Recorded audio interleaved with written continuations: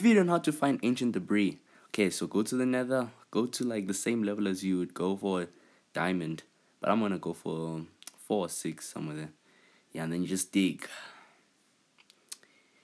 But if you're, you know, impatient like me, get out your bed and you go boom. See? Got him. okay.